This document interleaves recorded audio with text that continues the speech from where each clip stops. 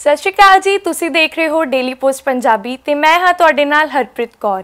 ਪਾਲੀਵੁੱਡ ਦੇ controversy king Garry Sandhu ਬਾਰੇ ਤਾਂ ਤੁਸੀਂ ਜਾਣਦੇ ਹੀ ਹੋ, ਜੋ ਆਪਣੇ ਗਾਣਿਆਂ ਦੇ ਨਾਲ-ਨਾਲ ਵਿਵਾਦਾ ਕਰਕੇ ਵੀ ਚਰਚਾ ਵਿੱਚ ਰਹਿੰਦੇ ਹਨ। ਗੈਰੀ ਸੰਧੂ ਦਾ ਪੂਰਾ ਨਾਮ ਗੁਰਮੁਖ ਸਿੰਘ ਸੰਧੂ ਹੈ, ਜੋ ਇੱਕ ਸਧਾਰਨ ਪਰਿਵਾਰ ਨਾਲ ਸੰਬੰਧ ਰੱਖਦੇ ਹਨ। ਅਜਿਹੀਆਂ ਹੀ ਉਹਨਾਂ ਦੀਆਂ ਅੱਜ ਕੁਝ ਅਣਸੁਣੀਆਂ ਗੱਲਾਂ ਨਾਲ ਅਸੀਂ ਤੁਹਾਨੂੰ ਰੂਬਰੂ ਕਰਾਵਾਂਗੇ। ਗੈਰੀ ਸੰਧੂ ਦਾ ਜਨਮ 4 ਅਪ੍ਰੈਲ 1984 ਨੂੰ ਜਲੰਧਰ ਸ਼ਹਿਰ ਦੇ ਪਿੰਡ ਰੁੜਕਾ ਕਲਾ ਵਿੱਚ ਹੋਇਆ।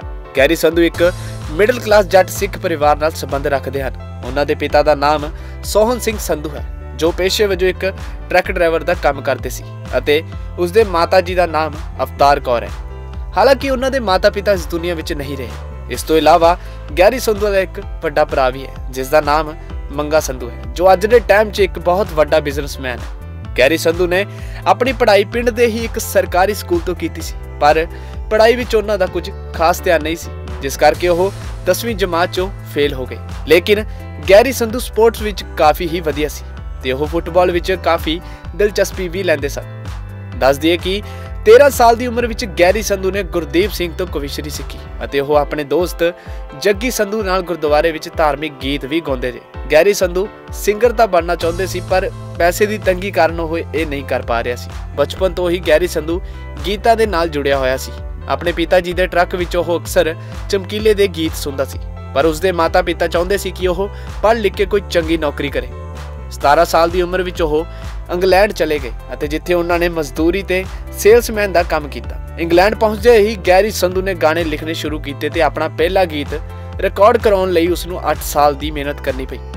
2010 ਵਿੱਚ ਗੈਰੀ ਸੰਧੂ ਨੇ ਆਪਣਾ ਪਹਿਲਾ ਗੀਤ ਮੈਂ ਨਹੀਂ ਪੀਂਦਾ ਰਿਲੀਜ਼ ਕੀਤਾ ਜਿਸ ਨੂੰ ਦਰਸ਼ਕਾਂ ਨੇ ਬਹੁਤ ਹੀ ਪਿਆਰ ਦਿੱਤਾ ਇਸ ਤੋਂ ਬਾਅਦ ਵੀ ਉਹਨਾਂ ਨੇ ਬਹੁਤ ਸਾਰੇ ਹਿੱਟ ਗੀਤ ਦਿੱਤੇ ਜਿਵੇਂ ਫਰੈਸ਼ ਸਾਹਾਂ ਤੋਂ ਪਿਆਰਿਆ ਅਤੇ ਟੋਹਰ ਉਹਨਾਂ ਦੇ ਸਾਰੇ ਗੀਤ ਹੀ ਸੁਪਰ ਹਿੱਟ ਰਹੇ ਦੱਸ ਦਈਏ ਕਿ 2011 ਵਿੱਚ ਗੈਰੀ ਸੰਧੂ ਨੇ ਬ੍ਰਿਟਨ ਏਸ਼ੀਆ ਟੀਵੀ 뮤직 ਅਵਾਰਡਸ ਤੋਂ ਬੈਸਟ ਮੇਲ ਐਕਟ ਦਾ ਅਵਾਰਡ ਵੀ ਆਪਣੇ ਨਾਮ ਕੀਤਾ ਜਿੱਥੇ ਗੈਰੀ ਸੰਧੂ ਦੀ 뮤직 ਲਾਈਫ ਵਧੀਆ ਚੱਲ ਰਹੀ ਸੀ ਉੱਥੇ ਹੀ ਉਸ ਨੂੰ ਕੁਝ ਮਾੜਾ ਸਮਾਂ ਵੀ ਦੇਖਣਾ ਪਿਆ ਦਰਅਸਲ, ਗੈਰੀ ਸੰਧੂ ਜਦੋਂ ਇੰਗਲੈਂਡ ਆਇਆ ਸੀ ਤਾਂ ਉਹ ਬਿਨਾਂ ਪਾਸਪੋਰਟ ਤੋਂ ਇੰਗਲੈਂਡ ਆਇਆ ਸੀ, ਜਿਸ ਕਰਕੇ ਉਹ ਇੰਗਲੈਂਡ ਵਿੱਚ ਗੈਰ ਕਾਨੂੰਨੀ ਤਰੀਕੇ ਨਾਲ ਰਹਿ ਰਿਹਾ ਸੀ।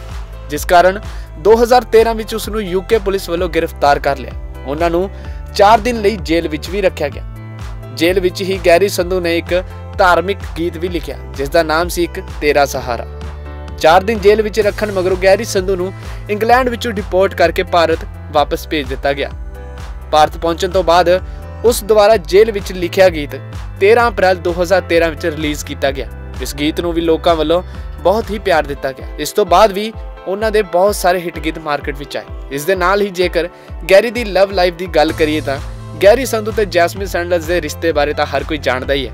ਗੈਰੀ ਸੰਧੂ ਨੂੰ ਜੈਸਮਿਨ ਸੈਂਡਲਸ ਨਾਲ ਪਹਿਲੀ ਵਾਰ ਲੱਡੂ ਗੀਤ ਵਿੱਚ ਦੇਖਿਆ ਗਿਆ ਸੀ, ਜਿਸ ਵਿੱਚ ਜੈਸਮਿਨ ਗੈਰੀ ਸੰਧੂ ਦੀ ਭਾਬੀ ਬਣੇ ਸਨ।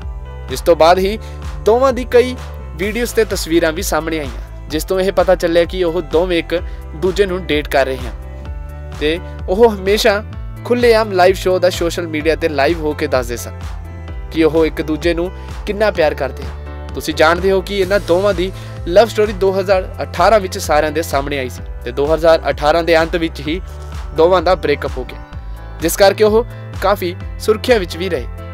ਇਹਨਾਂ ਸਾਰੀਆਂ ਗੱਲਾਂ ਤੋਂ ਬਾਅਦ, ਜੇਕਰ ਗੈਰੀ ਸੰਧੂ ਦੀ ਕੰਟਰੋਵਰਸ਼ੀਅਲ ਲਾਈਫ ਦੀ ਗੱਲ ਕਰੀਏ ਤਾਂ ਗੈਰੀ ਸੰਧੂ ਦੀ ਪੰਜਾਬੀ ਸਿੰਗਰਾਂ ਤੇ ਕਈ ਗਾਇਕਾਂ ਨਾਲ ਡਾਂਗ ਖੜਕਦੀ ਰਹਿੰਦੀ ਹੈ, ਜਿਸ 'ਚ ਸਿੱਧੂ ਮੂਸੇਵਾਲਾ ਸ਼ਾਰੀ ਮਾਨ ਪਰਮੇਸ਼ ਵਰਮਾ ਦੇ ਨਾਮ ਸ਼ਾਮਿਲ ਹਨ, ਜਿਨ੍ਹਾਂ ਦੀਆਂ ਕਈ ਸਾਰੀਆਂ ਵੀਡੀਓਜ਼ ਵੀ ਸੋਸ਼ਲ ਮੀਡੀਆ ਤੇ ਵਾਇਰਲ ਹੁੰਦੀਆਂ ਰਹਿੰਦੀਆਂ ਨੇ।